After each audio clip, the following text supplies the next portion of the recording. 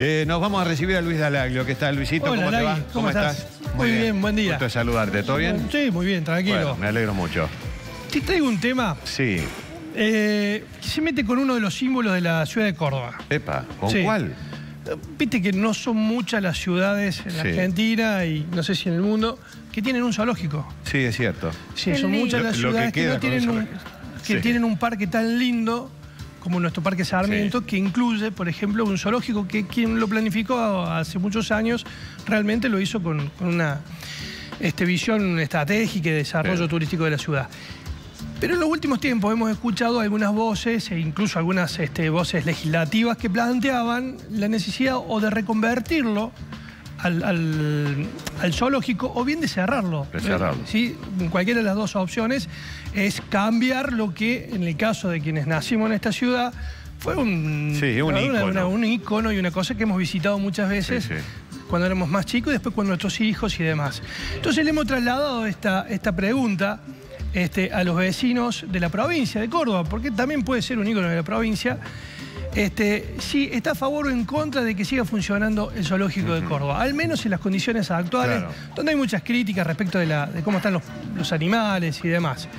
Y fíjate que el dato más importante es que casi la mitad de los cordobeses está en contra En de que siga funcionando el zoológico tal como está plantado en nuestro terreno. No es la mayoría, es casi, casi, Casi la, la mitad. mitad.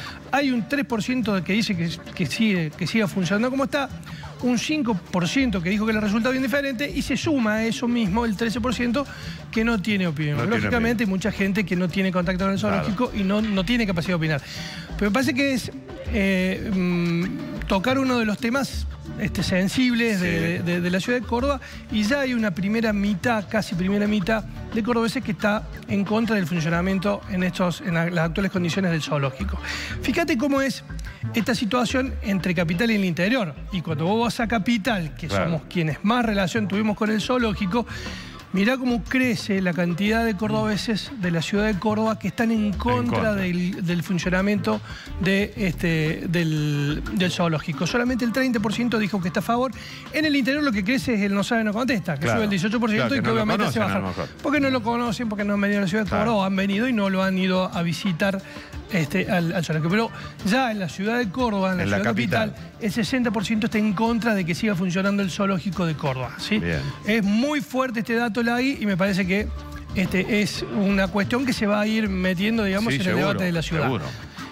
¿Cómo es entre, entre mujeres? Un poquito más las mujeres están en contra. No son grandes los sesgos, pero sí hay un poquito más de posicionamiento de, las mujeres en contra de que siga funcionando el, el zoológico. La plaga que sigue, vamos a ver cómo es esto por edades. Y acá está uno de los sesgos más importantes, la y quizás si esto lo, porque esto es eh, toda la, la- la provincia, no solamente la capital.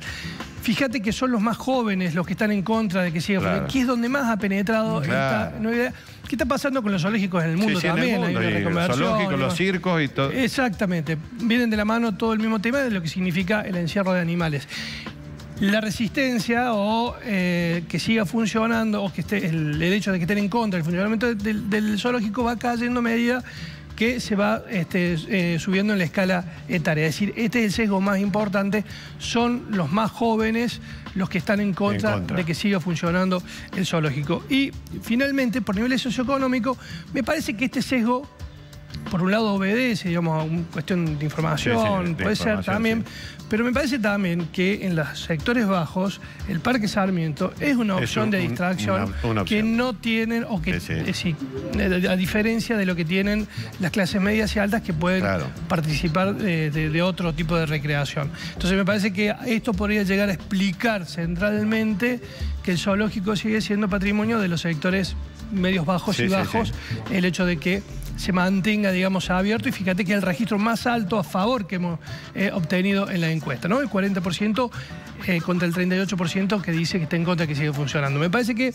este es un tema que se mete con un, Está bueno. un tema sensible de los cordobeses, un ícono de la ciudad sí. de Córdoba y que eh, esto aporta a un debate que es incipiente, que se ha planteado. sí, en Hay algunos proyectos dando vueltas, de hacer un paseo temático, en fin, un montón de... El lugar es hermoso. El lugar es precioso, Es hermoso. la verdad que este, eh, no sé si muchos zoológicos, no conozco muchos zoológicos más que eh, Sí, sí. ciudad de Buenos Aires y demás, pero este, la verdad que lo que tiene el zoológico de Córdoba es muy lindo, ¿no? Muy Y- lindo. Y, hay, hay otros zoológicos en el mundo que obviamente están haciendo una reconversión, Sí, ¿sí? sí. Eh, más educativa, más este, recreativa en otros términos que con los animalitos encerrados.